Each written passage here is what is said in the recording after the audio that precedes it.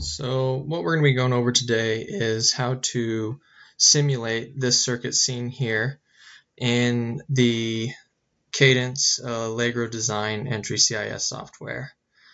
So we're given this direction here to plot the output voltage as a function of time for this 7805 uh, linear voltage regulator right here.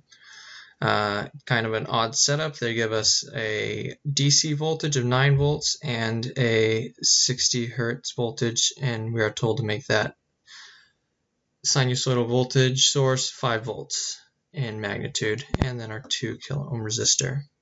So I obviously already built all of this out. A few key notes. Uh, once again, if you didn't watch the other video, when creating your file, go to File, New, Project. When selecting your project, select Analog or Mixed AD and ensure you have no spaces or special characters in your when naming your files to save you headache later. Now it's hard, difficult finding this part in our library, but I found a little trick for finding parts more easily in the library. You upload your library by clicking on this plus button right up here, and you want to have your, um, then that'll show you your library. Click Add Library and select the entire PSpice library and click Open. Now we have our library in here and we want to search parts in there. So we're going to click Filter. And what I've done is this filter, I've allowed us to filter out and only get PSpice models that we can simulate. And so you select these two boxes here and any PSpice model and click OK. Now any part that does not have this um, simulation property from PSpice will not show up and that is what you need if you're going to be simulating your parts. So we have no open circuits, no short circuits. We put our probe in from our PSpice toolbar here and then we are ready to simulate. I had to Google this op amp to find it. It's under an LM, uh, LM7805. The uh, sinusoidal voltage source was under VSIN and VDC for our DC voltage source. And this is an analog resistor, our R analog. So when we are ready to simulate, simply come up here to click New Simulation Profile and you'll click it, name it. I have already created that, so when it opens up, you'll get a box similar to this. Click Time Domain Transient is what we want to do for this one, for our time domain sweep.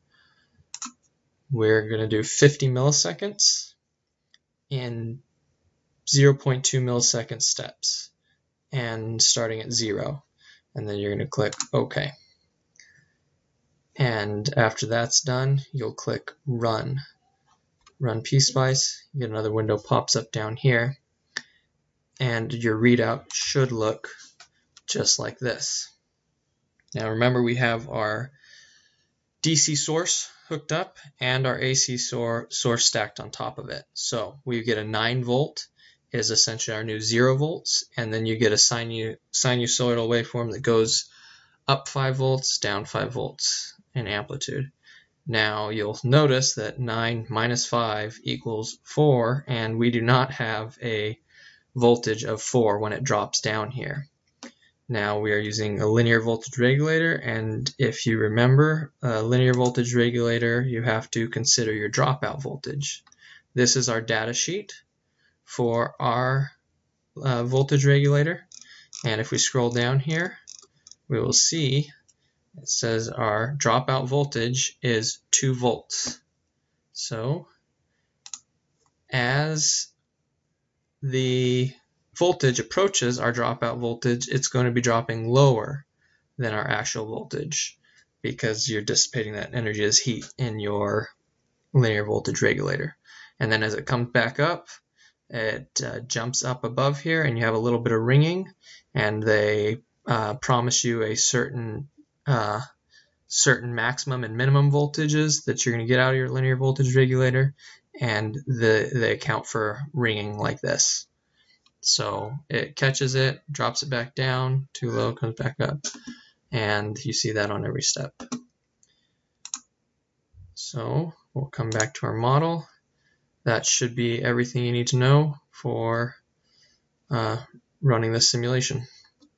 If you have any questions or comments, just let me know and I will try to answer them or any way that I can improve these tutorials that would help you. Thanks.